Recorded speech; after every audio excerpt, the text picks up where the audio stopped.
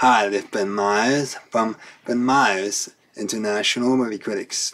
Tonight we're going to talk about the American Russian Canadian film Red 2.